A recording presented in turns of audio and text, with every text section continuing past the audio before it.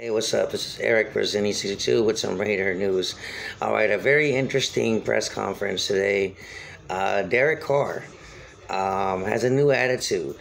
Um, Paul Gutierrez, uh, you know, Raiders insider, was asking him about expectations and all that stuff.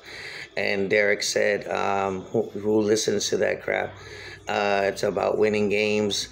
And he told Paul Gutierrez actually to uh, uh, tone down the sound of his uh, his voice, which you know what? I'm um, I'm kind of glad that Derek uh, kind of snapped back at these reporters because I mean Derek has been heavily criticized by Raider Nation uh, when he when, of course when he doesn't play well, but uh, also the media you know, who says he's a, he's a top 10 quarterback and he's not a top 10 quarterback and he receives all this hate.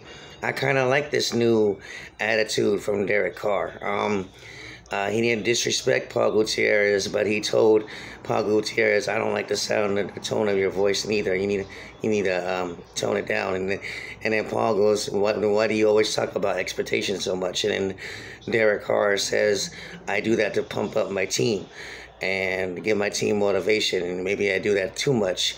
And Derek Carr said, but then he says to Paul Gutierrez, tone down your voice. I like I like this new attitude from Derek Carr. Um, you know, he is a believer, uh, as I am, as I am, as I am. But at some point, you know, you know, even in in the, in a, you know, at some point in the Bible, God did tell people that they were fools. Okay, so um, I like this new attitude from Derek Carr.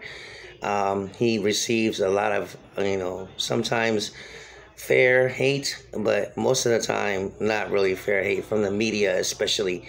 And he kind of put Paul Gutierrez in his place, all right? Let me know what you guys think about that. Like and subscribe to Zennie62.